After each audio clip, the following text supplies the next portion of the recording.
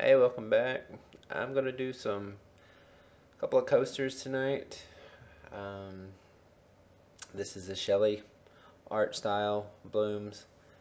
Uh, this first one is I'm using orange and a tree leaf green color, just testing it out. You know, maybe I'll go bigger with my Lazy Susan later on.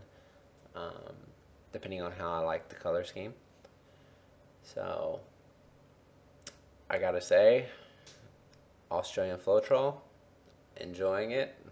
It's not as much as a hassle to get this stuff to work with that versus with the US version. Um, on this first one, I'm going to do a swipe. I'm just using like a little plastic thing that I cut up. Um, I just love the way the cells pop up on this. Um, I did an, another version of this with white base before this one, but I didn't have it recorded. So I will show all of them at the end of the video. There's your quick close up. Um, I'm gonna stretch it out. I really like the, the black one, but I also like the white base color one that I have. So maybe y'all can let me know which ones y'all like more. Honestly, the the worst part is stretching it out, at least for me, because I don't want to I don't want to lose all the cells. But I realize that is going to be part of it. But maybe later on, after I'm comfortable with the smaller tiles, I will start doing these on like a bigger canvas, like 12 by 12s, or even maybe a 20 by 20, and use the Lazy Susan to spin it out to try to keep some of the cells intact versus mm, sort of distorting them a little bit with the stretching. So, for the most part, this one is done, and I'm going to go to another one and just blow it out instead of a swipe.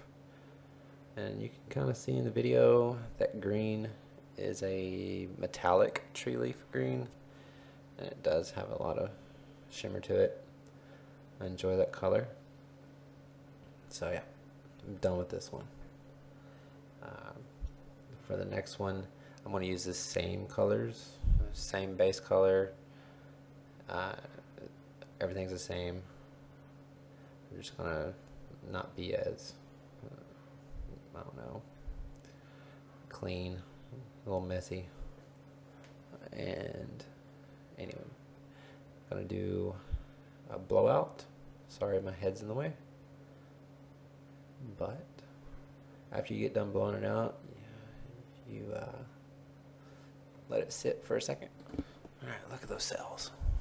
So you let it sit for just a second and you know the white kind of will shrink in. I'm trying to blow out that little white area try to get more cells but doesn't look like that's going to happen. So I'm going to go ahead and start stretching it out and hopefully it does um, come out just as good as the other one. I sometimes when tilting I try to help the corners by just bringing the paint over just that way speeds it up a little bit. Um, I will say if you are dealing with tiles they are a little slippery so just make sure you got a good grip on them but that is that for that one. So here was the first red and gold and black one that I did I forgot to hit record when I started this one.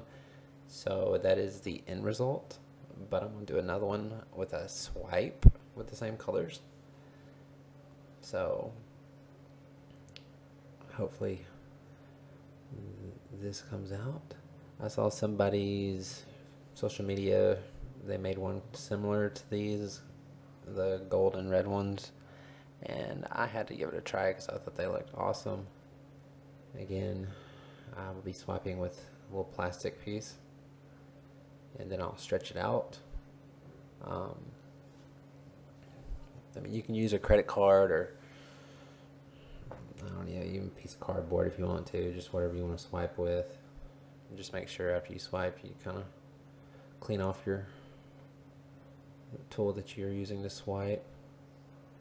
And now this is freshly made black cell activator. Uh, the white one that I used in those two other ones was probably a couple of days old. I know some people say it only lasts a couple of days, so I don't know. But I will stretch this out. And if you can tell,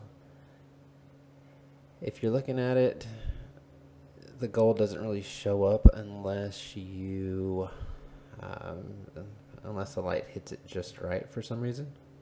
Which, hey, I like it. It is what it is. Um, this one kind of reminds me of a bat type shape. But here is a close-up after they have dried.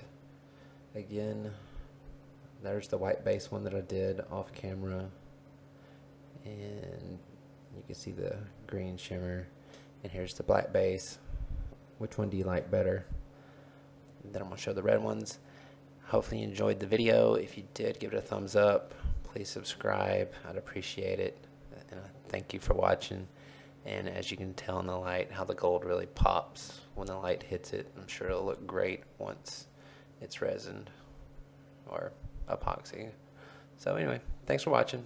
Take care.